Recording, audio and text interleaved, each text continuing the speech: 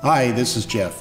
Uh, today I'd like to talk to you about hands-free control valves. Typically you see hands-free control valves around hand sinks, pre-rinses, and, and other applications in a commercial kitchen. Typically there's two ways to achieve hands-free hand washing. One would be by using an electronic eye faucet, or the other would be by using a Fisher knee valve or foot valve.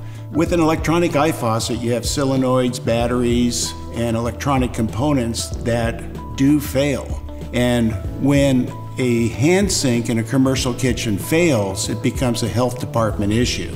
When the electronic eye faucet fails, the plumber generally cannot repair it, so it becomes a remove and replace.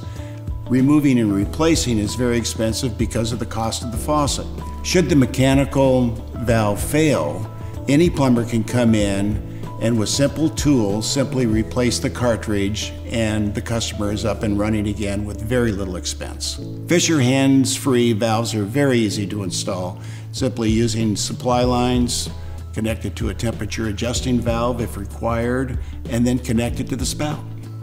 These valves are easy to maintain because we use a renewable cartridge with standardized parts that virtually any plumber or end user can replace in just a few minutes. They have an anodized pedal that won't rust and it lifts for easy cleaning. So when it comes to hands-free solutions using foot and knee valves, think Fisher. Thanks for watching.